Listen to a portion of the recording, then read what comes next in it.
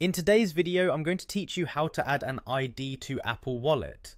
This process is straightforward, quick and secure, allowing you to carry a digital version of your ID card conveniently on your iPhone. So let's dive right into it. First, you'll need to open the Wallet app on your iPhone. It's typically found on your home screen. If this is your first time using it, you might have to do a bit of setup, but it's all guided, so just follow the prompts you see on your screen.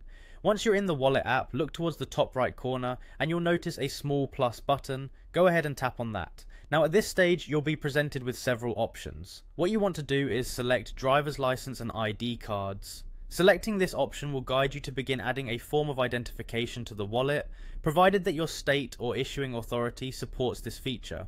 This is a seamless way to keep your ID handy without the need to dig through your wallet or purse. The next step involves scanning your physical ID. Using your iPhone's camera, you'll need to capture both the front and the back of your ID card. Position your ID within the on-screen frame, ensuring it's visible and the information is clear.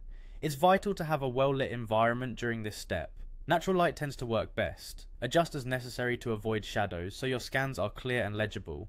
After scanning your ID, you'll be prompted to verify your identity.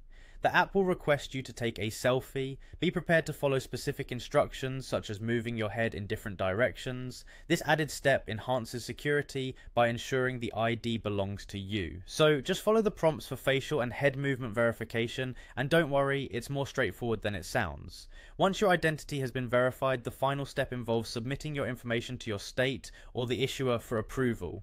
This submission process varies depending on local requirements, so be prepared, this might take a little time.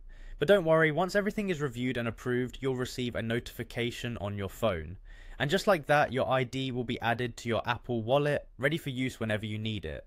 Remember, this digital version is incredibly handy for various occasions such as verifying your age or identity verification, and it's securely stored on your device. That's the whole process. Pretty convenient, right? Now you can travel a little lighter with your ID right on your phone.